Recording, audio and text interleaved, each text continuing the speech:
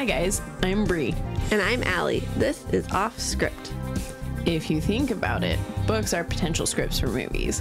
When this adaptation happens, typically it's disappointing because they went off script. In this series, we will be talking about how off script they went.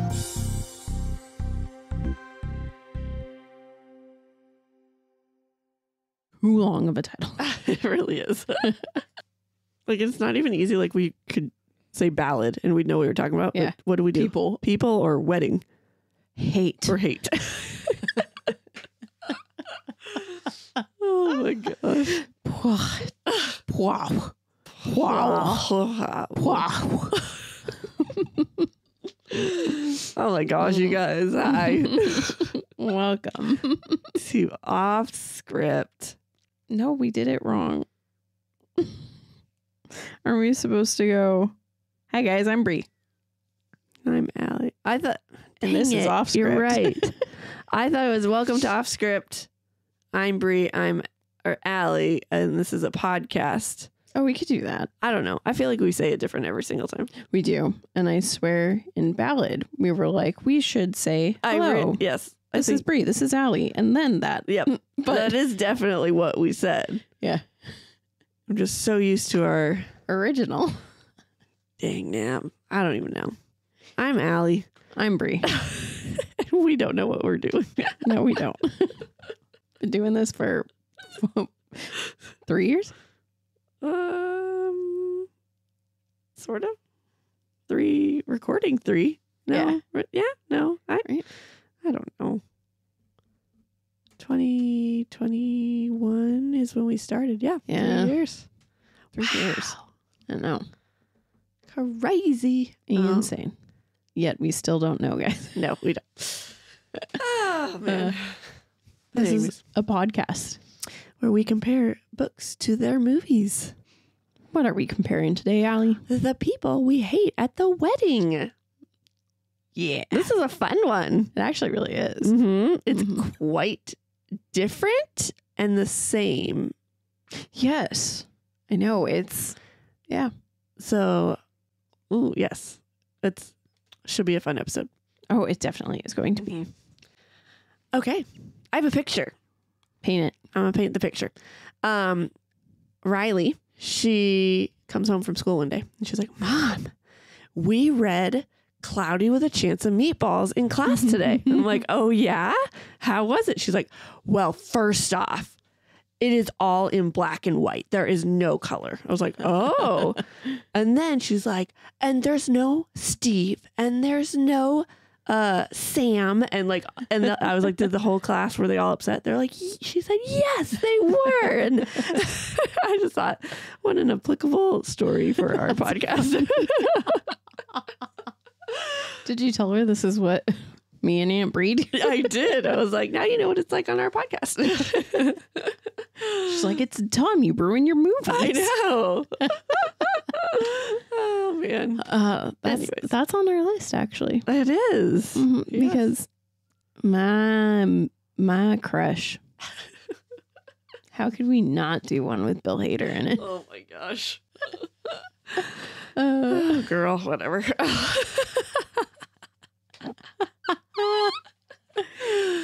oh, anyways, so that's what's going on in our life. That's our little picture, It's our life picture. update picture for you. mhm. Okay, shall we start this book movie Let's do it. duo? Yeah. Okay.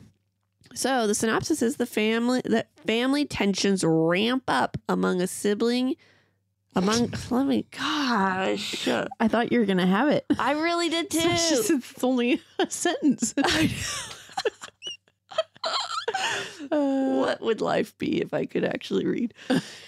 Oh. Family tensions ramp up among siblings in the week leading up to their half sister's wedding. hmm Yeah. Okay. We got author Grant Ginder. Ginder? Ginder. I would say Ginder. Ginder. Okay. Mm-hmm. Director Claire Scanlon. Mm-hmm. Okay. Screenplay writers Lizzie Molyneux Logelin and Wendy Molyneux. Hey, that name sounds familiar. It does sound familiar. I wonder where we've heard that before. Hmm. Logelin. Hmm. Hmm. audiobook reader Dan Bittner and Christine Hevman. Hevman? Did I spell Vam? that right? it seems like it's missing some vowels. Oh, look. Nope. It's not. okay. Vam. H V A M. mm-hmm. Okay. Did you listen to this one too? I did actually. Yeah. What were your thoughts? She, I really liked her at some points. Mm-hmm. I don't, I don't, I don't know. I kind of went in because I watched it first. And Oh. so I went in with their personalities and their voices already in my head. Mm-hmm. I do think Dan did a good job at sounding like, shoot, I can't remember, Ben Platt. I think that's his name. I know his first name is Ben at least. He sounded a lot like him. But she, Was it the brother? Yeah. Paul. hmm Mm-hmm. Yeah, but she, except for I felt like she was definitely Alice's. She had Alice's spunk. Okay. Yeah, I thought they were okay. Yeah, I mean, they weren't they weren't like top notch, and they weren't Yeah. bottom tier either. So they were exactly. yeah. I I wasn't riveted by their storytelling, but I also wasn't bored out of my mind. Yeah, definitely Mm-hmm. okay. Book came out June 6, 2017. Movie November 18th, 2022. That was a five year difference. Wow. I think, right? Yeah, that's five years. Mm-hmm. Okay. And which first? Well, I just said I watched it. I I've almost was like watched- I read it. I read it 1st mm-hmm. You did. Yeah. Mhm. Man, oh man. We wanted to switch it up. we did. and what were your thoughts? I feel like you and I are going to have the same feelings. I can't really answer my thoughts without giving away because I really liked one and not so much the other. Agreed. Yeah, I, I can't really say anything. I was gonna Stay try. I was Stay- gonna try, and then I was like, mm, "Hold on, there's no way to really say that." So Stay tuned at the end and we'll give our real initial thoughts with our preference. yeah, will we remember to do that? Who knows? Probably. so, why did we pick this movie book? I know the story, but by why you chose this one, because someone highly suggested us do Oh. this one, Yes, I did. and we jumped on the opportunity. Yes, we did. Are you intrigued? I hope. Now, unfortunately, so this is an Amazon Prime movie. This wasn't two theaters. I don't know if that's the reason, but IMDb only had five fun facts, Oh, and two of them weren't even that fun. One of them was Great. the Good Place Mm. matchup. They're like, they, th- Kristen Bell and what's her name? D'Arcy worked on the Good Place together. I'm like, yeah, great. Everybody knows that. I was like, I knew that's why they put her in that scene. so I only have three fun facts for you guys, and that makes me quite sad, but that's all I got for you. So my Alli super fun facts are a little sad today because I, I only have three. All right. So in the scene where Alice is watching Jonathan in a meeting at work, we hear the song The Wire by the band Haim. Mm. hmm The actor who plays Jonathan starred in the music video. Oh, funny. Yeah, there you go. Fun fact. I love that. Annie Murphy was originally attached as Alice. What, attached? Why would they put attached? Because Uh, that's she was attached to the piece. That's how they oh, say Oh, it. it's- it's- in, it's lingo? Yeah, it's Hollywood speak. Who is Annie Murphy? She is Schitt's Creek. Oh David. my gosh. She would have been think of so her name. good. She would have been amazing. Starts Alexis. Thank you. Yeah. Yes, Alexis. She would have been great. I know. I Dang was it. not planning on recasting, but I might have to recast. I actually think I am. Wait, Just wait till we get to cast for me. Oh my Lanta. The photo in the credits is Ben Platt and his real life partner, Noah Galvin. Cute. With the, with the little true love heart on it. Aw, Cute. that's adorable. Those were my fun facts. Sorry, there are only three. Well, one of them made me quite sad. Okay. I didn't fix this. Sorry. Okay. So, voice to text, right? So, you know, Alice usually turns into Allison, right? Yeah. My brother's name is Paul and he's gay. So my first note is Allison and Paul are on the phone talking. I'm like, and I, You're like, no, we're not. I know, I guess I subconsciously did not change that. Anyways, just- it jumped. I was too excited. You really were. Okie dokie. Let's do it. Yeah. All right. Kicking off with the book. Actually, let's kick off with the movie. The movie starts Yeah, first. movie starts first because it also starts very differently. Yes. So in the movie, there's a narrator. The narrator gives us backstory that you actually hear throughout the book. It's just kind of all right at the start in your face. Like, boom, mm-hmm. here you go. And so you see the family when they're all kids, and it's actually pretty cute. It was so cute. yeah, the stepsister comes and they're doing Santa photos. But then because they're not together all the time, they're like, let's get all of the holiday photos done now. So they're like at the mall and they're like, Holding up a line. so funny. That's how that starts. And then you want to guess my next note? You love the music. Yep. Soundtrack. Soundtrack is great. Literally. It was a good soundtrack. I liked it a lot. Mhm. Okay. So that didn't happen in the book. No. The book kicks off with Alice and Paul. They're on the phone, they're brother and sister, and they just got wedding invitations to their stepsister's wedding. They're trying to figure out how much she spent on them because she's bougie and she has a rich dad and all this sort of stuff. And they're talking about going to London for the wedding, but they don't really like their stepsister, as I said, because she's bougie and uh, Alice and Paul had. See, I- I just to say it too fast. Alice and Paul had a normal, like, you know, childhood, Childhood. blue collar childhood. And Alice told Paul, You have to go because I'm a bridesmaid and I have to go. And he's like, "Eh, I don't know if I can go. I'm camping that weekend. In the movie, Alice was not asked to be bridesmaid, but pretty much the rest of that happens. She was asked to be maid of honor, but not till later, right? Oh, yeah. No, in the start, she says, she asked me to be maid of honor. But that was when we were like seven. Oh, that's right. Yeah. So it's kind of there, but she's not actually in the wedding. Oh, yeah, yeah, yeah. Okay. Yep, you're right. Yeah, and Alice didn't want to go either. Whereas she Mhm. didn't want to go in the book, But, But she, she was she- always like, going to go. Yeah. Whereas she was actually trying to get out of it in the movie. Not really, but sort of. Mhm. Like you got that feel. I did. I didn't.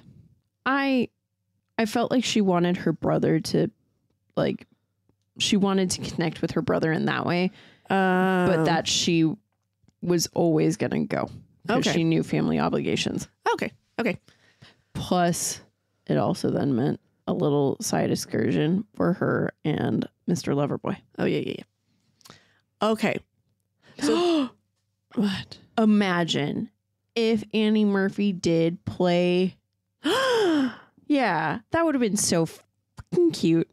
what we have to finish our thoughts for those that have no idea what we're talking about.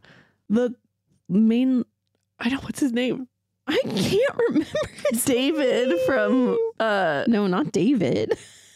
David's her brother. It's his. Oh my god! Why can't I think of his name? I love him in this Oh. I was thinking replacing Paul and making him David. So we weren't on the same page. But, but Dennis is her boyfriend. Dennis is her boyfriend from in Schitt's Schitt's Creek. Creek. Yeah, her like fiance dude.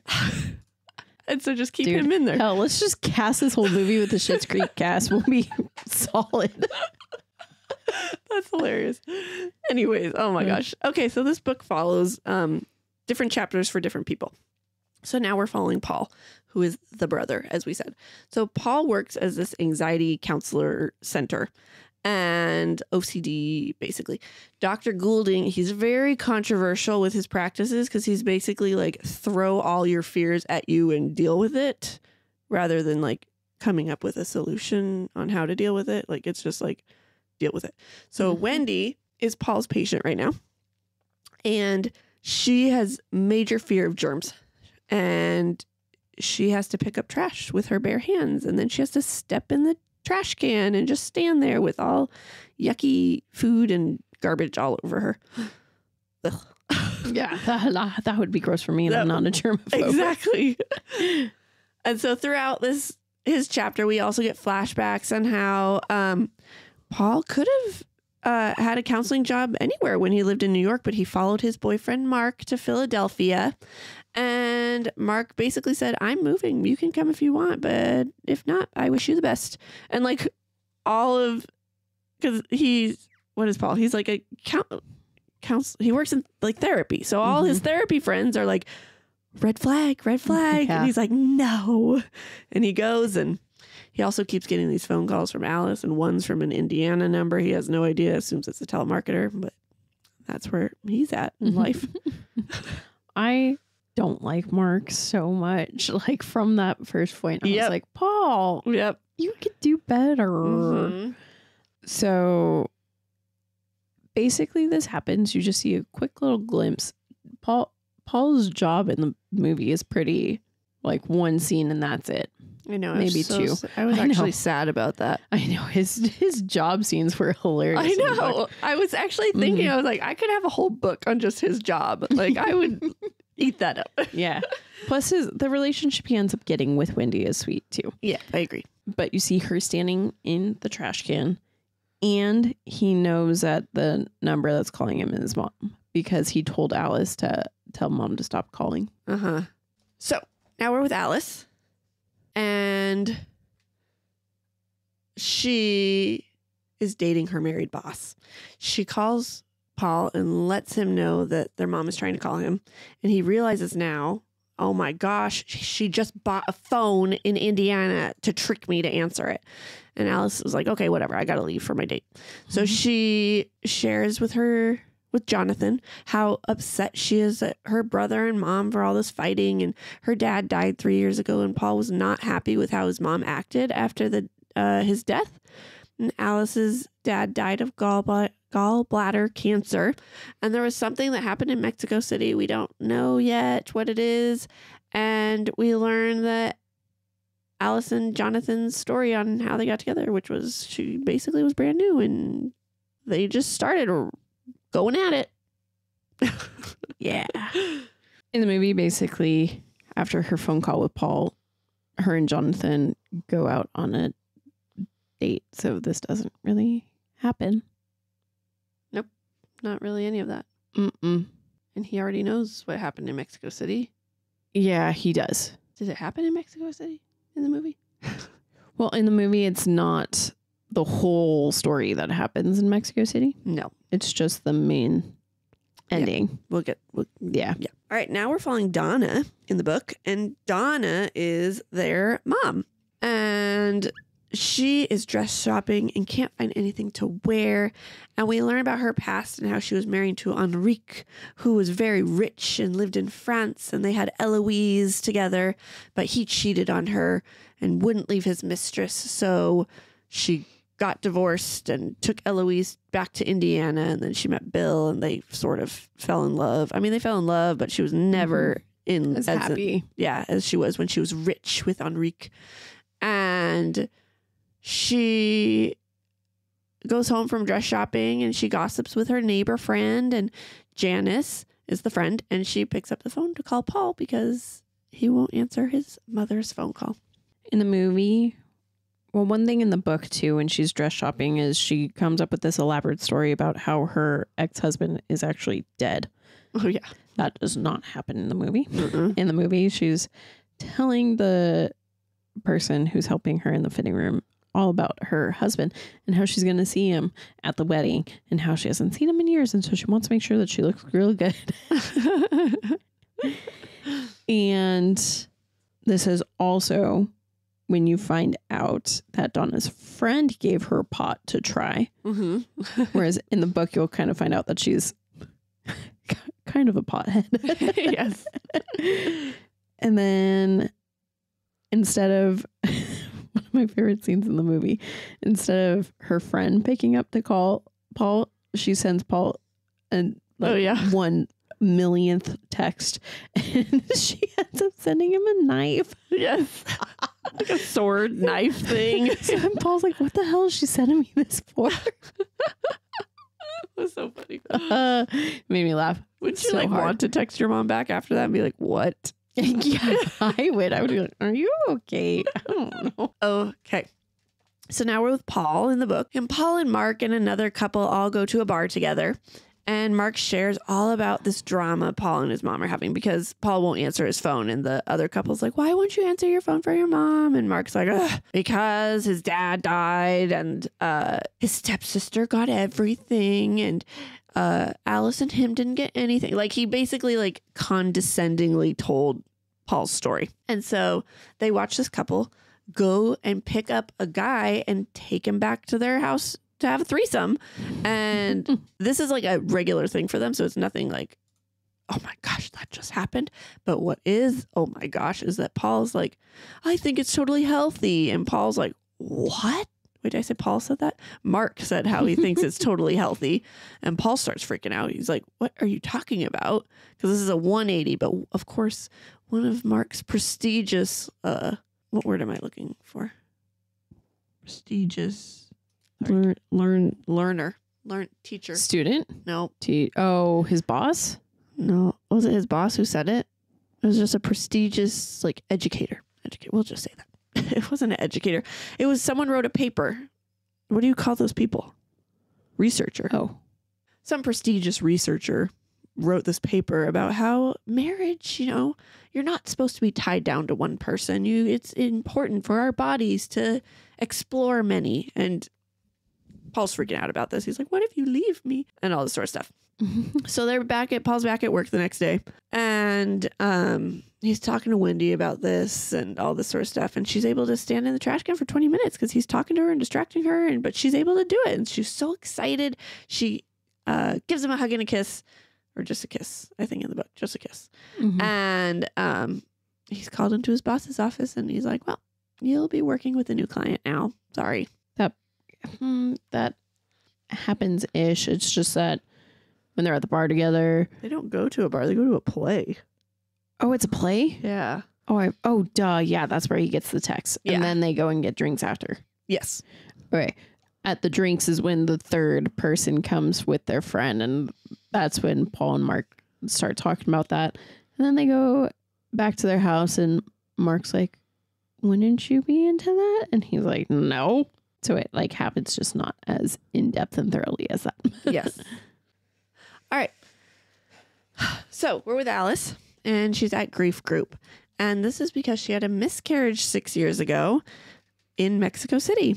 And the grief counselor asks her to share because she never does. And she's reluctant, but she shares about Alejandro and how they met. And she was at her dream job. And uh, eventually they got pregnant. And he was wonderful. He was so excited, but he said, I'll support you with whatever you do.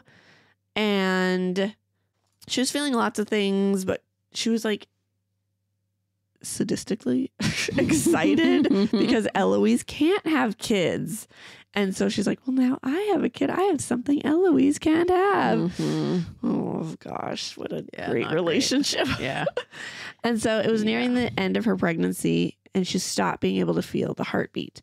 She goes in and she ended up having to have a stillborn because they couldn't do surgery due to complications. And um, afterwards, she was really quite mean to Alejandro and blamed him and all this sort of stuff. And he ended up leaving her, and she has no idea where he is. And then Eloise never showed up to support her in when she was grieving. She sent like a little message or flowers or something, and that was it. Yeah, in the as someone who watched the movie first and then read the book, this was such a shock. Really? yeah, I was like, "Whoa, that all because in the movie it's just a miscarriage. You Right. don't find Oh, out the yeah, yeah. backstory. You don't Uh-huh. find out that it came from like you find out that the guy leaves her Uh huh. and all of that, but you don't find out all of this story. And I was like, They flipped the story a bit to make it so he was blamed her mm-hmm, for the miscarriage. mm-hmm. Mhm. Yeah. And so the grief group doesn't happen.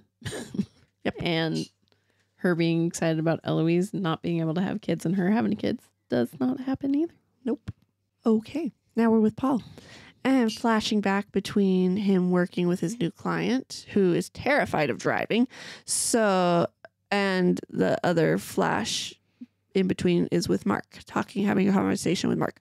So with Mark's conversation, okay, it was Paul asking if Mark, like, aren't you freaked out at the possibility the threesome could end the relationship? And Mark's like, no, of course not. I don't think it would. All boasty, irritating like he is. Mhm. And um, flashing back to his work, Dr. Goulding is yelling at Paul because he, he this treatment for this poor guy is to throw uh, mannequins at this car as he's driving because this guy's terrified that he's going to hurt someone when driving. So why not throw mannequins at him while he's driving?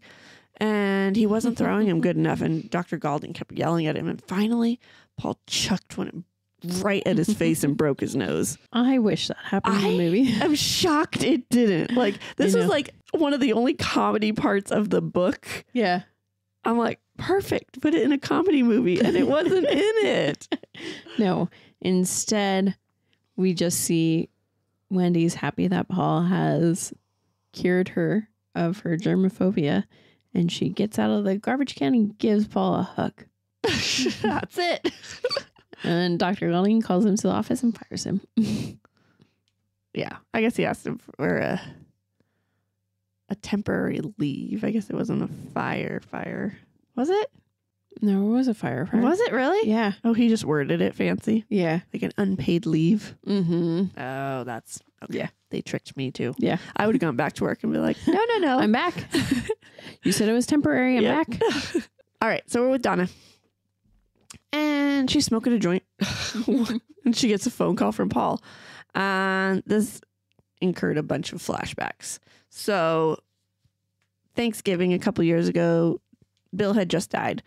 And but Alice and Paul are there and they're all together and Alice is drinking a bunch. Paul is pissed because Donna got rid of all the things that reminded her of Bill. And then flashback to Bill's funeral and Alice is taking extra dose of, of her antidepressants. Paul is getting up to talk about and give a eulogy. Flashback farther to the reactions of Bill and Donna finding out that Paul is gay. And Donna was very supportive, but Bill said he better knock it off or he's not allowed to come home. And Donna was like, You will not say that to our son. I will leave you if you show him any less love than you do regular, like already and I'll tell them exactly why I left you. And so he goes on putting on an act for however long he lived for after that. Back to the Future. nope, just kidding. Great movie. Back to the Funeral. Ooh, I wonder if that's a movie. That could be a movie. Back to the Future. why not? I was like, Alli, yes, Back to the Future is a movie. All right, back to the funeral and how much she loves her son. And uh, she never told him about how Bill acted because she wanted to keep Paul safe. And she did tell Eloise, but she made her promise not to tell Paul at all. And then back to Thanksgiving, and Paul's pissed and uh, says, You want to erase Bill from your life because you're ashamed of him and that you downgraded from Enrique. And she's like, Yep. And Paul left back to the president.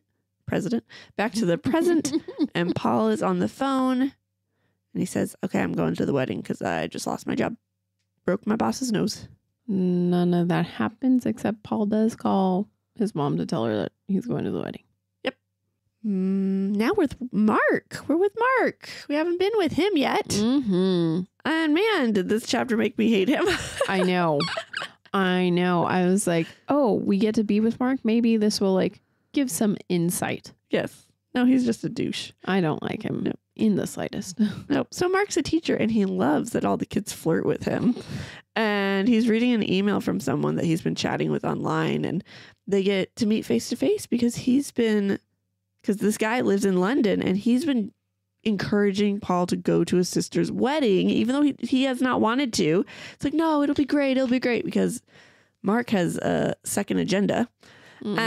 Um, so they eventually go to London and they meet up with this guy, and he plans on having a threesome with Alcott because they're gonna live at, or stay at his place for the next Live. two weeks. Yeah, Yeah. And Paul shares the story about how he lost his job to Alcott, and he's cracking up, which is really annoying Mark. And Mark talks to Paul about how f- isn't Alcott so fun?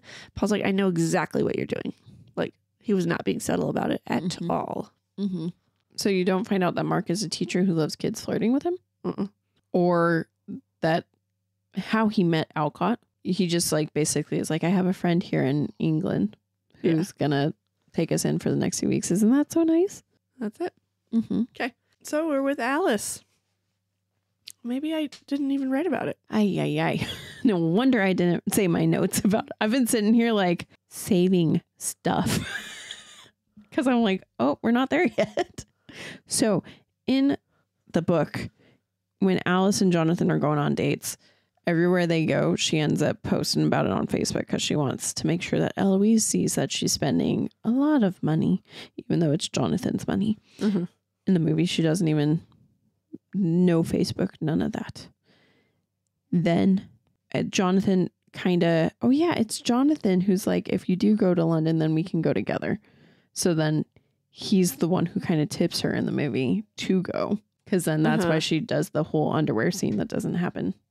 But I love that it happens because it's got Robot Girl from Good Place. Robot girl. Yeah, that's what I put. and then Jonathan makes her think that he'll go to London in the movie. Mm-hmm. Whereas in the book, he's very much like, oh, I can't get there. Oh, no, maybe in two days. Nope, can't do this. Whereas in the movie, it's always, I'm on my flight. Oh, I missed my flight. I'll be in tomorrow. Yeah, yeah. And he was very straight and forward and being like, I can't leave because he's you got his Mhm. wife and kids, and he's like, I, I wouldn't be able to explain that and everything like that. Mm-hmm. All right. So Alice is on her way to Eloise's wedding and she's talking to this guy at baggage claim named Dennis. And Who only has this one scene. This one bit. Yep. As someone who watched the movie first, I was heartbroken. I know. I believe it. I was like, oh, I love this character. Cannot wait. And then I was like, is he coming? Is he coming? He's not coming. again. nope. Because listen to how sad. I Uh, mean, I don't blame him for not coming back. yeah, no, me neither. But because Alice is staying in a very fancy hotel because she had to impress her sister. So she invites this guy to come. And she goes to pay for her room and she finds out Eloise paid for it and even upgraded her room. and she's pissed because she hates getting handouts, especially from Eloise. And she leaves Dennis in the cafe because she's pissed. Like she, Mhm. she originally was like, "I'll go wait at the cafe and I'll go pay for my room and then we can go up." She just leaves him there. I was so glad that the writers changed this. I me too. I was like, Dennis is the best. yes. I love him. Don't break his heart. So she gets to her room. She starts taking one of her pills, her antidepressant pills, and she begins drinking. And she's looking at the room service, and she orders five of everything just to rack up a thousand pound bill that her sister's gonna have to pay for. But she sends Eloise a text saying, "Thanks for the room. I have the best sister." Smiley face. the main difference here is that Dennis is with Eloise the whole time. Yep. And he's such a good guy. He really is. Uh, Dennis is Eloise's or Eloise's. Dennis is Alice's love interest Yes. in the movie. She does not have one in the book. No, her love interest is realizing that Jonathan's an ass. Now we're with Eloise. Oh, Oh, okay. another thing too that I forgot to mention when they were children. It's kind of a key point for the movie that you know that Eloise loves Taco Bell. Oh, yeah, yeah.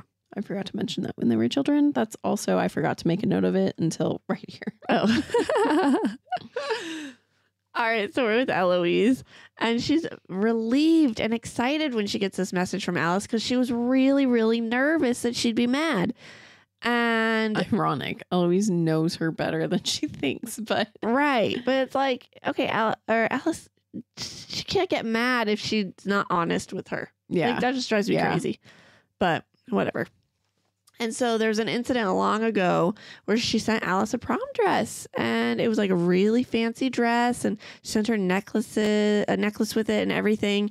And she just wrote a note, you deserve this. And instead she gets the dress back, the- cut the little straps and ungrateful little bee she is. Mhm. All right. Then we learn background and how she works with charity and Well, her like, what's- fiance. Sorry, what's stupid too though is like your sister's trying to be nice. I know. Like, why are you just like just because she has more money than you and you had a rougher upbringing? Like, right. So stupid. yeah, it makes no sense. No. So we learn about uh, Eloise's work with Charity and her fiance Ollie, and she's been working on the seating chart, and she just is doesn't know what to do because her dad, out of the blue, said she's com- he's coming to the wedding, and now she has to figure out where to put her mom and dad. First off, seating charts are dumb. like, let people figure out where they want to sit. Mm-hmm. Highly suggest anyone planning a wedding out there don't cause yourself stress. Just have your reserved tables and then free for all for everyone else. Mhm. Anyways, Agreed. so Ollie and Eloise are at lunch, and she had a falling out with her dad because she was tired of him dating all these floozies. Um, but apparently he's changed and he's stopped that. So great for him. And Ollie tells Eloise, Hey, I got a job opportunity for Alice. But Eloise is a little nervous because she knows how Alice doesn't like handouts. And um, Eloise goes and picks her mom up from the airport. And they talk about Paul and their relationship and how it's going. And she's like, You just got to tell Paul the truth. And she's like, No, I'm not going to do that. And they all met at Eloise's favorite restaurant. And Alice got there first and was freaking drunk already. Paul and Mark show up, and Eloise can't stand Mark because he is super pretentious. And he's like, I can hurry up and get the table for us. And he could not. and they all ordered drinks because their tables run in late. And Donna orders or tells the bartender, Paul, and his friends order. And Paul freaks out and is like, um, he's my boyfriend. And she calls the bartender back and she's like, I'm so sorry. This is my son's boyfriend and gives like this huge explanation about how they lived together and all this sort of stuff. And Eloise pulls Paul aside and cusses him out. She's like, Do not screw up my wedding. So That was a lot. Sorry. She had a big chapter. yeah, it really was a lot, and a lot of this doesn't happen. Enrique is who picks up Donna from the airport. Yeah. And they just immediately like she walks right up to him and kisses him because she's high as a kite. And then they go and have sex right there. I mean, I understand. It makes sense for the movie. Why? yes. Yes, it does. Because literally in the book, it's a chapter with him in it. And if, it, Mhm. if he's such a big character in their lives, he needs more he needs time. to be in the movie. Yeah. Yeah. Exactly. Plus, like, nope, I don't know what I was gonna say. okay. I thought left quick. And then basically Eloise, at least we don't know that she's had a falling out with her dad. Mhm. So it doesn't seem like that's a thing. I also think it's funny because the whole telling Paul the truth thing Mhm. was kind of the movie's big twist. And like You're right. this is why so so then again as being someone who watched the movie first and then reading it i was like hold on they What? know from the beginning. was yes. like wait this is something that i just go through the whole entire time knowing Wow. That's true. hmm and then at the dinner i absolutely loved eloise decided that she wanted to play an icebreaker game with everyone so played awkward. would you rather at dinner it was so awkward. Uh, it was hilarious. It was so good. it was so funny. And then I also thought it was funny because the movie changes the charity that Eloise looks works for. Uh-huh. In the book, it's with kids with a cleft lip, but I can't remember what it is. I think it's for like disabled kids to be able to go and make art. Yeah, I think that's what it was. And I was like, why? Why a small change like that? There are quite a few small changes. hmm The next note that I have is that Alice is an architect in the movie, when in the book she's someone who's aspiring to get into film. That would be a big change for you. oh yes, I was like, I would have liked this backstory. Give me all of that.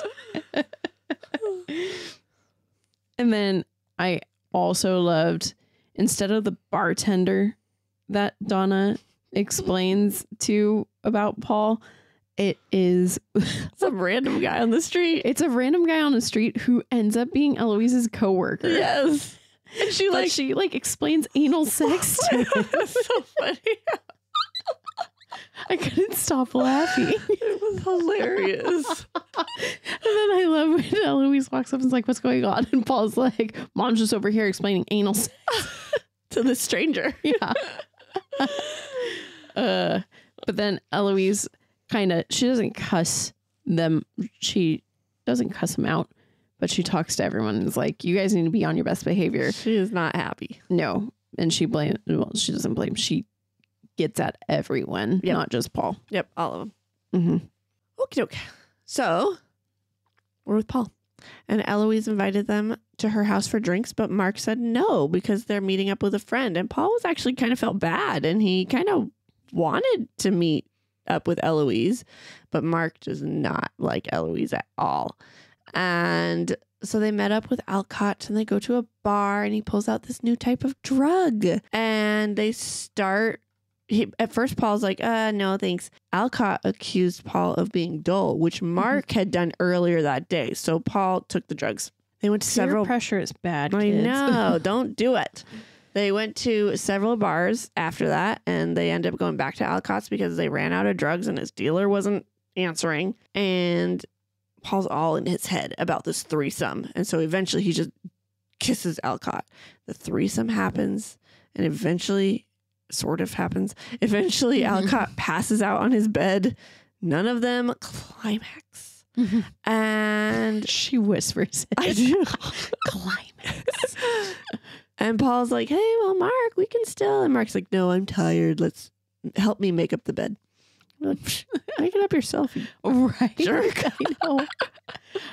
In the movie, I do think it's really hilarious because the threesome doesn't actually happen, like gets started, but then they end up using Paul as a chip table. yes. And then it's funny because Mark is the one who asks Paul if he'll finish him off. And Paul's like, yeah. And then he dumps chips on him. Yes.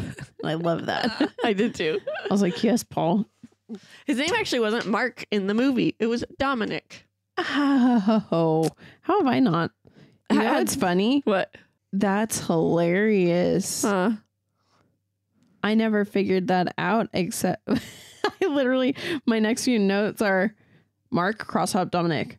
Mark cross up Dominic. and I have no notes in here about His name difference. Yeah. Yep. His name is Dominic. That's funny. Wendy's name is also Helen. Oh, funny. I didn't pick that one out. That's okay. I only picked that one up because I had to do casting and I was like, who the heck is Helen? That makes sense. Okay, we're with Alice. She's at the bachelorette party and it kicks off with yoga. And she's kind of, she embarrassed herself by sucking at it. And then they're drinking in the car and she embarrassed herself again by making a penis bachelorette party comment because Eloise's friends are super snooty and they're chatting and the topic was somehow brought up where she lives. I don't remember how it got there. But Eloise says, Oh, we hope that she's moving to London soon because Ollie found her a job. And this pisses Alice off because she already told her no. Flashback to a conversation when she told her.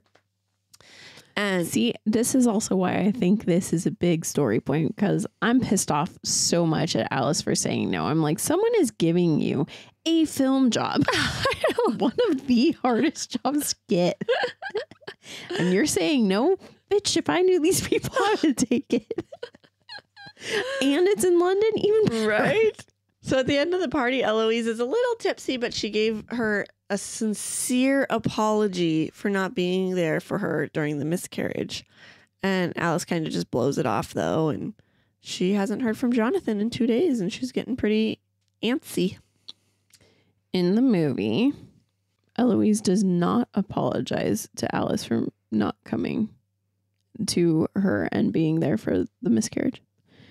And Alice is expecting it, and she's like, ah, gets all upset at her Mhm. for not apologizing. And then basically the rest of it happens, except for Eloise's friends aren't super snooty. They kind of enjoy Alice. Mm-hmm. So Eloise just kind of blows up at Alice because she's not behaving how she wants her to. Because Alice is making fun of her the whole like Mhm. siblings. It it didn't Mhm. seem. no, it wasn't out of the norm. Mm-mm. And like the fact that all the friends were laughing too, it's just that it made her uncomfortable. Right. But they went Alice hot. was also joking about uh, Eloise's sex life. So I could mean, see could how be that, awkward yeah, if you're not close sibling. yeah, yeah. But also, it's your it's it's your bachelorette party. So those kind of comments probably are going to get brought up. Uh, yep. And they went on like this hot tub boat and all this sort of stuff. So it, was, it looked like a fun bachelorette party. Mm-hmm. So we're with Mark now, and he's thinking about the events that have happened. And Paul said that he liked it, but he was tossing and turning all night. And then he called Wendy and starts crying about how he made a mistake. And then Mark decided that they're different people, so I'm going to break up with him. He brought Paul to a public place to avoid a scene, and he tells Paul, or then Paul starts telling a story about how he, what was it? It was like how he kissed someone, and he like had to, he was so freaked out Oh, because then they threw up. He was so freaked out about STDs or something. Because he's Oh, freaking out about STDs because they didn't use a condom. Mm-hmm. And Mark just hates this story. So it's like before he even finished the story, he's like, I think we should end things. And Paul starts freaking out and he's crying, which it turning Mark on. But then he gets pissed at him and he's like, ah, well, now there's not going to be any makeup sex. And oh my gosh. Yeah, Mark's a dick. Yeah. So basically, this happens, but not. Paul doesn't freak out about STDs, and it's not from Mark's point of view because Mark's not like a titular character in the movie. hmm Also, the other thing in the book, Paul kind of like Paul freaks out and just cries over the breakup, whereas in the movie, he realizes like, "Wow, you're a dick if this is Mhm. how you're breaking up with me." So he stands his ground a little bit. Yeah, I think so. But then one thing that's about to happen next time, oh, in the next chapter is Paul calls Eloise and is like, hey, Mark broke up with me, but that does not happen in the movie. So, as Bri said, Eloise is really glad to hear that Mark is not with her brother anymore. Paul called her up and asked if he could stay with her. And when Mark dropped him off, she went up to Mark and said, I hope you're better off because I know Paul will be. And then she goes inside. Um, Paul's like, Where's mom? And Eloise made sure that uh, she was out of the house because he, she didn't want Paul to have to deal with her too. And she let him smoke a cigarette in the apartment, even though they're not supposed to. Ollie wouldn't be too happy. She's like, It's okay we, we got we have spray. It was like a really cute sibling moment. Mm-hmm. And it didn't happen in the movie. No, it didn't. Then we're with Paul, and Paul, Alice, and Donna are in the car. They're on their way to the wedding location. I think. Yes. yes. There was like five parties that happened in a row, or yes, I was so confused. So you're gonna have to help me with these parties. I got this. Okay. They are on their way to the like location. Yeah, and they're gonna stay there for so the, for the first week it was they were in London where Eloise was at, and that's where the bachelorette party and everything happened. And then the week is them staying where the wedding's taking place. Okay. So they're at the wedding location. And they have a do a pit stop. Paul has a cigarette and Donna's like, Can I have one too? And he's like, No, don't make this a moment. I only want to talk to dad. And then he leaves. And then on the way there, he sees a text message from Jonathan Jonathan telling Alice to stop texting him. And he knew that she was kind of in the same boat he was with a breakup because he knows about Jonathan. Yeah, that's my next note. Mm-hmm. Paul does not know about Jonathan in the movie. Nope. And it's also really funny because in this trip they get into a car crash with a cow. I know. That's so funny. because Alice kept reading her messages Oh, yeah. and she's just And the trying to text. Yeah. Like I do not text and drive people, but she was the worst. she was literally just staring at her phone. like she wasn't even trying to drive. Yeah. She's like, oh, this is more important. Oh gosh. Uh, All right, we're there with Donna, or we're with Donna, and they met Ollie's parents, and then Alice is like, no, not Alice. Eloise says, "Hey, mom, come here. I need to show you something," and it was her dad. So Henrik, now shows up. yes, in the book, first time we meet him. Yeah. Whereas in the movie, he was at the dinner with them. He was at, he's who got Donna from the airport. Uh-huh. Like he's been prominent this whole time. Yes. So with Alice now, and she's at a party, one of the many parties, and she's getting annoyed with everybody. she doesn't like people. She don't like the bridesmaids or anyone. So she goes to find a place to sit by herself and she calls Jonathan and he picks up and he's pissed. His wife found out about them and he is blaming Alice for his wife leaving him because of the Facebook posts and all this sort of stuff. And she's confused. I'm like, well, why is that a bad thing? You said you were going to leave anyways. And he's like, of course I'm not going to leave her. Don't be stupid about it. Like, that would be crazy. And she's like, well, I had a miscarriage. And then he's like, oh my gosh, when? Like thinking it's his kid. She's like, mm-hmm. it was six years ago. And he's like, oh my gosh. And then she's crying and saying, don't hang up. And he hangs up on her. And Paul comes in. They have this cute sibling moment. And he shares about his threesome. And they just start laughing and have their cute little moment. that doesn't happen in the movie. No, because what's his name already knows about the. Yeah, Miscarriage. Jonathan already knows about the miscarriage, and he still at this point is basically telling her that he'll show up at some point Yeah. You know what we, you haven't been talking about? Hmm. Is Dennis throughout this whole thing. because I was like, "There's too much." My notes would have been so much. I'll just give it a brief. Uh, so after their first night, well, first day in the hotel room, they have sex, they eat, but then she tells him that Jonathan's her rabbit, and people keep calling to for him, and like she's calling to check up on her rabbit and all this, and he pieces it together that she's seeing someone, and then the first time Jonathan is like, "Oh, sorry, dear, I won't be able to make it today, but I'll come up at this point." She gets with Dennis and they have a night together and then he's like, "Okay, tell me about this Jonathan dude." And so she does. But then he like is like you know, he sucks. He's the piece of trash cuz she's like, "You're going to think I'm a piece of trash." And he was like, "No, he is. Like it's mm-hmm. not you." So then she's like, "Oh, okay. I like this. Jonathan's probably not coming cuz he's blown me off a few times." So then she invites Dennis to go with her family to Eloise's wedding because she's mm-hmm. like, she told me I got a plus one, so I'm going to take you. And then the next morning, Jonathan's like, I'll be there tonight. And so she's like, oh, you know what? My sister, that bitch, she just told me I can't have a plus one. And Dennis is like, yeah, fuck that. it's Yeah. your dude. Like, or he says, when is Jonathan going to be here? And she's like, no, no, it's not anything like that. And he's like, mm, no, hope you have a good life. And is pissed at her. And that's where we're at now. Mm-hmm. Okay. So we're with Donna, and Donna went on sort of a date with Enrique. They went kayaking, or and they he boasted about what a great surfer she is. I got you surf lessons. She's like, nope, that wasn't me.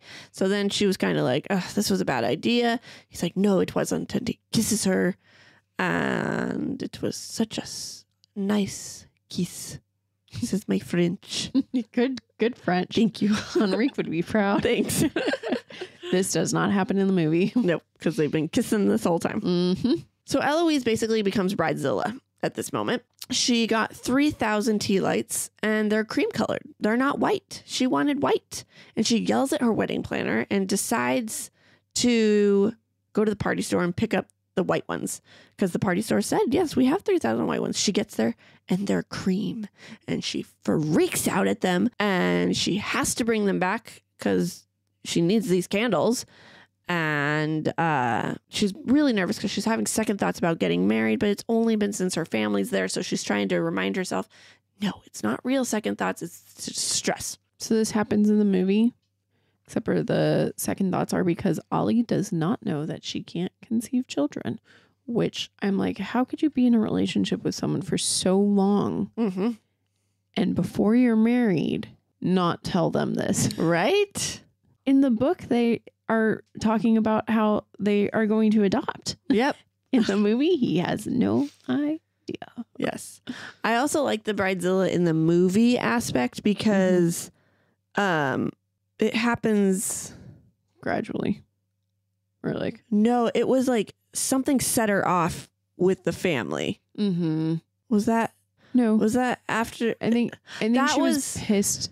No, it was that was the night that they were they got in jail. So it hasn't happened yet. Oh yeah, So uh, Bri will get to it, but this big huge event happens that Mhm. pissed her off with Alice, Donna, and Paul, and so she's kind of like has all these pent up emotions about the family, and that's what set her off.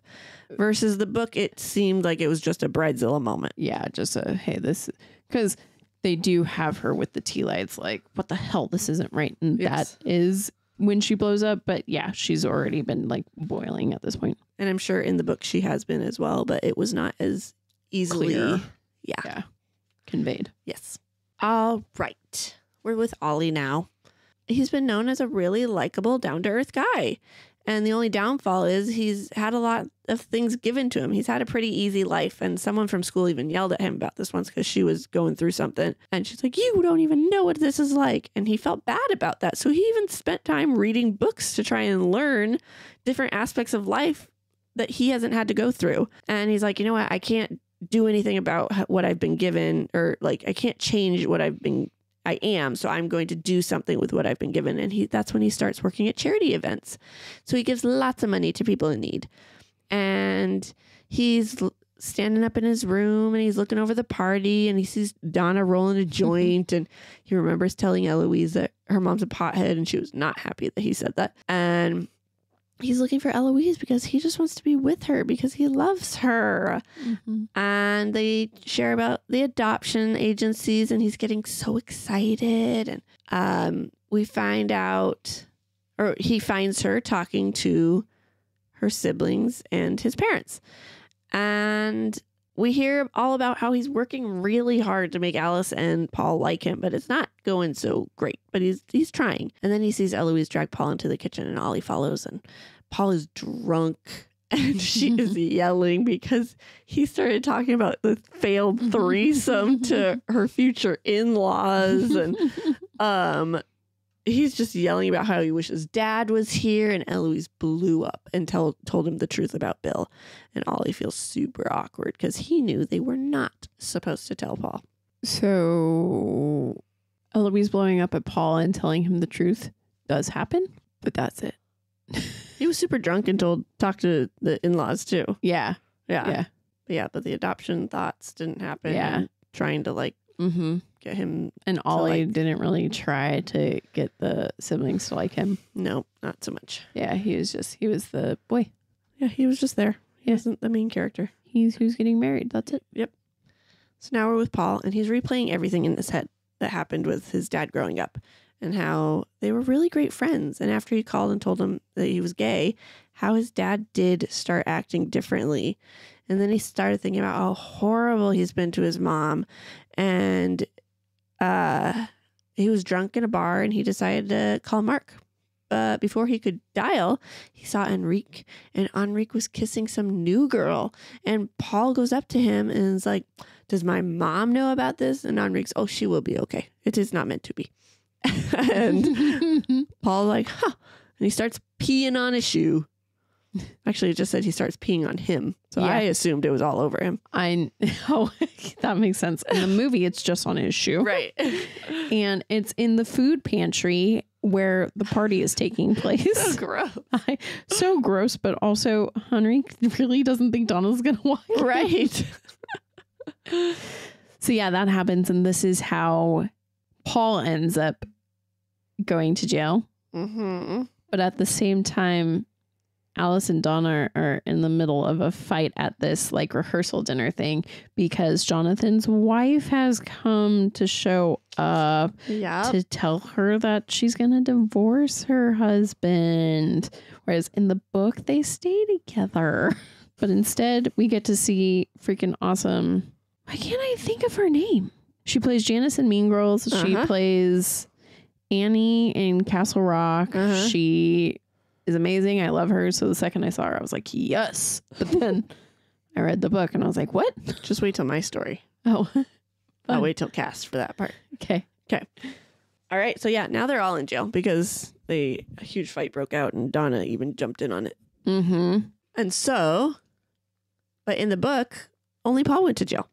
And Alice picked Paul up from jail and they chatted for a bit. And Alice remembers Eloise coming to her room and saying how worried she was because Paul wasn't in his room. And he asked if Alice knew about her, about how dad felt. And she's like, well, I didn't know. She never told me, but I, I definitely guessed.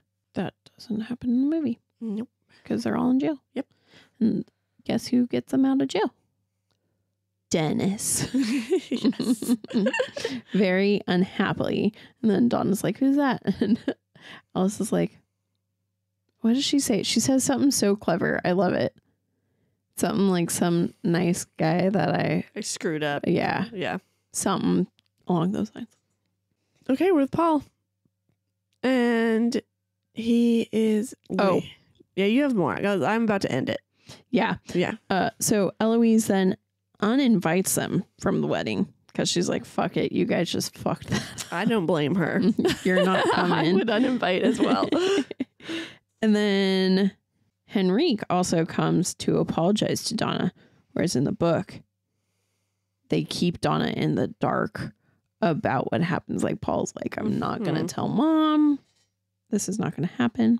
And then after Eloise freaks out about her 3000 tea lights, she ends up in Taco Bell. And like the way that Alice, Paul, and Donna, who are sitting there waiting for a cab to go home because Eloise has uninvited them, and Donna's like, Can we sneak a peek at the wedding? And Eloise is like, No, she said specifically not to in her letter that the Alice. cop Yeah. read to us. So then, oh, I said Eloise, huh? That's okay. I keep doing that. Uh, but then they get to Taco, or Ollie runs up and is like, "We can't find Eloise anywhere. We were hoping you guys would have an idea." But also, like, this is their first time to this country. Like, why would they know where she's gonna run to? but they know she's at Taco Bell, and then Alice stops and is like, "Hey, can I go in and talk to her?" And they're like, "Yeah, of course." And the whole reason this happens is because Paul and Eloise never have a blow up. So there's no reason for them to make up, whereas Mhm. it's needed for Alice and Eloise. And then you get a happy ending for everyone. Alice ends up with Dennis with a baby, and Eloise and Ollie are together and they visit the States all the time, and everyone's happy. Wait, Alice and Dennis have a baby? Yeah. I thought it was Eloise and it was their adopted baby. And Ollie's adopted. In the movie? Yeah. No, I thought it was their baby. No, it was their adopted baby. Or theirs, because they're like, that adoption went really quick. Oh. Ha! I never caught that. I Okay. wanted Alice and Dennis to have a baby. Oh. so obviously. uh right. So I think that was the closure of she ended up telling Ollie. Ollie and it ended up That- being okay. Makes sense. Well, I figured they got married. Theirs are okay. Well, yeah, but all right. Whereas in the book, it ends with Paul and he's waiting at the wedding chapel and no one's there. Eventually, Donna comes in and says Eloise doesn't know if she wants to get married. Paul goes out to find her and they're chatting for a little bit and she shares how she's really nervous because other families have it all put together and she can't even have handle her siblings coming. And she shares about how they've been meeting with adoption agencies and she's really nervous to be a mom and have a husband because she thinks she'll screw that up. And he's like, Yes, you will screw it up, but everyone screws it up. The point is, you love each other and you guys will be happy. And they hug and get up to go to the chapel. We get no resolution. No happy ending. I mean, they got married. Happy. Yeah. Happy. happy, happy. Okay. All right. So first off, let's do it. So our casting, we cast 73 people, or IMDb did. I did not cast them. Alli's like, I take credit for this. so first we got Kristen Bell played Alice. I loved her watching it, but now that I know it was supposed to be Annie, Annie was born to play this role. Yes. Okay. So, you know, I read it first. So I was going in expecting drama. Yeah. So all my casting is Dramatic. more dramatic. that right? makes sense. I want to tell you, I like shrieked as what's her name came in as Marissa because that's who I pictured Oh, as Alice? Alice. I was like, What's she's funny- in this movie. What's funny is uh, how the audiobook reader read it. I could see that for sure. Yeah. What's Yeah. her name? Her name is Lizzie Kaplan. Yep, I love her. Mm-hmm. She's great. So I I didn't recast because I I didn't officially recast anyone because they did good for their comedy. Mm-hmm. They didn't match the characters, Yeah. but they did good for the roles that were written for them. Yeah. No, I'm here for Annie. Annie could have did that Yes, so amazingly. I mean with that, Kristen yes. did great too, but Oh, she would have been awesome as it. Yeah. yeah. Then we have Ben Platt as Paul. I fucking love him. I think he did so great. much. He's such a cutie. I didn't have a specific person in mind for Paul, so that was he did great. Mm-hmm. Yep. He was perfect. Allison Janney did Donna. She's great. She was so funny. But okay, funniest part before, like right at the beginning, I'm like, I am picturing Diane Keaton, Mother of the Bride. And then legit at the grief group, Alice describes her grief group counselor as a Diane Keaton style, like maybe from Mother of the Bride. And I was like, Like, oh, Hold on. so that's what I was picturing. But nope, That's Allison funny. Janney did great for her role. yep. I agree. Then we have Cynthia, oh gosh, Adia, A die? Addai-Robinson. She played Eloise. I loved her. She was She's so cute. Yeah. I always pictured Eloise as like a blonde. Well, in the book, it says blonde. Oh, that's probably why. Mm-hmm. But she did really good. I Yeah. really liked her. Yeah. Okay. I agree. Isaac D. Ben Cole. Thank you. Enrique. He was good. Yeah, he was. He was a good scummy dude. mm-hmm. Mm-hmm. Jorma Taccone. Taccone. Taccone. Uh, sure. Jonathan. Okay, so I love him because he's from the Lonely Island, and so like watching it the first time, I was like, yeah, I love him. But then when I read the book, my thoughts changed, and I would recast Jonathan Oliver. Oh, Yeah, interesting. he's a British dude. Yeah. Because then that's who I pictured the whole time. So then when I watched it again, I was like, what the fuck? Even though you watched it first. yes, I was like, I swear it was this guy. Oh, interesting. yeah. No, Jorma matched how I like. I imagined him. No, you know who I imagine. Have you ever seen the Mistletones? With Nope. okay, I one hundred percent imagined uh, the boss in that movie. That's who I pictured as Jonathan. Okay. Oh my gosh, his name is Jonathan. Meant to be. Funny. All right. okay. Then we had Karan Soni as Dominic, aka Mark. Dude, I love him as an actor, but he is not. When I He's not douchebag material. no, he's. I guess he's okay for Dominic, but he's not Mark. No, I agree. And Mark, I pictured. I can't. I can't find exactly who I pictured, but I think John Cho is like the closest I can get. Oh, I could see that. Yeah, I pictured just someone who looked like he felt like he was above others. Yep. I legit in my head had someone, and I cannot remember what movie they're in or Mhm. anything, but I know exactly who it was. They looked similar to the bad guy from Titanic. Oh yeah, Yeah, he's not the right age, so I couldn't recast him as him. But Yeah. that the char- the actor that I want, I can't even think what movie he's in, looks similar to that. And so, but I agree that he was not a mark. no, he's too sweet. He's he's the taxi driver from Deadpool. You can't Exactly. that to him. I like him on uh the uh dang it, what's it called? The Daniel Radcliffe show. Oh, Miracle Workers. He's really funny on every season of that too. So I didn't even know he was in that. Yep. I haven't watched that show. it's a cute one. I need to. hmm And so um yeah, but I was very shocked when I saw that that was him. Mm-hmm. I know. I was. I watched it. Then again, I read it, and who he was went out the window, Uh-huh. and so I saw who I have in my head, who I can't figure out, and I was like, "Oh yeah, that's who it is." And then I went and rewatched the movie, and I was like, "What? Right. That's not It's- you." It's because he wasn't super high pretentious like No, he was quiet Dominic's and shy and character, yeah, was just that he really wanted a threesome. Yeah. Whereas Mark's character, was like, "I'm above this guy. I don't need to be with this guy." yeah. All right, then we got Dustin Milligan as Dennis. He's so perfect. I'm also so glad that he's in this movie. He was so cute, and I I'm so love glad they had his storyline. Me too. Plus, if you watch our TikToks, you'll see how excited I was. Yep. It might be just in the YouTube video. I don't know. Alli puts those together. So I really don't remember. go watch. no, I them. had more videos than you did, so I think I put all of your Oh. videos in. Makes sense. Well, then you'll see how much I love him. I think so. I don't know. Check the YouTube, check the TikTok. Mm-hmm. Go watch both of them. Yeah. Um. Then Julian Ovenden, Alcott. He was good. Yeah, he was fine. Mm-hmm. Yep. Yeah. Did- Mhm. yep. John Mal McMillan? Yeah, sure. McMillan. That makes sense. was Ollie. He's. I love him. He was good. He's Ollie. Ollie and Eloise were my favorite characters in the book, Mhm, and they did good. Yeah. He did good. Yeah.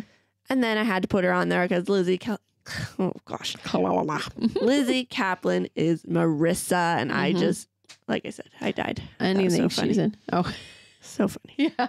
You're like, hey, hold on. You're supposed to be Alice. What are you doing? Wrong character. uh, all right. Is the theme of the book and the movie the same? I mean, the theme, Yeah. yeah. Yeah. hmm Do the characters stay true in the movie to how they are written in the book? No, I mean, like Mark, no, Yeah, that's true. Mark, no. they have the same like Enrique, no. thought, Yeah. like where Alice doesn't like her sister and stuff like this. But I feel like movie Alice to get more of a comedy feel is a lot more loosey goosey. Yeah, that's true. stuff like that. Mhm. Um, there's just stuff you have to make characters different versus comedy and drama. Yeah, absolutely. So if you say overarching, like umbrella, yes, they're the same. But if you Mhm. want to get Nitpicky. then not so much. Which do you prefer, Alli? Well, anytime it's a choice between a drama or a comedy, I'm gonna go comedy. So I loved the movie. Yeah, the movie was amazing. It was so it was fun. so good. Yeah. Yes. Yeah. I watched the movie and I was like, oh, this is going to be great. I can't wait to read the book. And then the book started and I was like, huh. Especially since like the first like three quarters of the book is a bunch of backstory and a bunch of like build up to the wedding. Whereas the movie is very much like, hey, we don't like our sister, but we got to go. And then we're at the wedding and we're in London, like all Mhm. that. So it was funny. yeah. All right. Yes. All right, we got a sneak peek for ya. hmm If you haven't yet, what are you doing? You should rate us. Go review this episode. hmm You should also hit that subscribe button so you can get some great content. Go to our website and subscribe to our emails. Yes, where you will get a monthly newsletter kind of telling you what's up. and maybe sub- uh, submit a request for some bookmarks hmm So that you can help us spread the word about this awesome podcast. and just go to all our socials and start liking and watching and Sharing and yes following there. Yep. Yeah, we would appreciate that. for surezies hmm Wednesday, I think we've got a pretty fun mini-sode coming up for you. i think it's super fun Mm-hmm. We're excited. super special Oh, super special. So we're Yeah. not even gonna we're gonna keep it so special you have to wait day of Mm-hmm. To figure out what we're doing, yes but we're excited. And I'll tell you, I'm nervous. Bri's getting married no just kidding no. what if it was what if that's what wednesdays was it was a live podcast wedding? from your wedding. My gosh. No, not gonna happen. uh, Oh my gosh. All right. and then Monday, We have the self help book self help. help book There you go. Of He's Just Not That Into You. Hmm. Did we know it was a self help book when we did it? Fuck no. No, that was a fun surprise. Oh, sure was. I started the book before Alli, and I was like, "What? Hold on, I, wa- I wanted a nice story." Oh, so come take a listen to how that goes. yeah, yeah, that was fun. oh my gosh, you guys. All right. With that, the people we hate at the wedding went, off, script. Bye. Bye. Thanks for sticking with us. We hope you enjoyed it. If you did, we would greatly appreciate it if you gave us five beautiful stars, reviewed, and subscribed. You can also follow us on Facebook at Offscript, on Instagram at Offscript Podcast 21, and on TikTok at Offscript underscore pod. Shout outs to Madame Ashen Creations for our adorable logo art, And Adam Daniel for our incredible theme song. and to Creative Cinephile Productions for producing our podcast. See, you next time.